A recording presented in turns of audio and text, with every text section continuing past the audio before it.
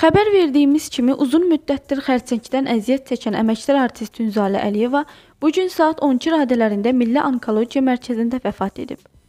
Gündəm.azın məlumatına görə sənətçinin nəşi az əvvəl mərkəzdən Heydər məscidinə gətirilib. Aktrisanın ailəsindən savayı məsciddə mərhumun həmkarları əməkdar artistlər Ülviyə Əliyeva, Mətanət Əhmədova, Yusif Mustafayev, aktrisa Sonaxanım Əliyeva da gəlib. Ailəsinin açıqlamasına görə hazırda Tünzalənin 1-ci sinifə gedən 6 yaşlı qızı Zəhra anasının vəfatından bixəbərdir. O hazırda Xırdalandakı evlərində nənəsinin yanındadır.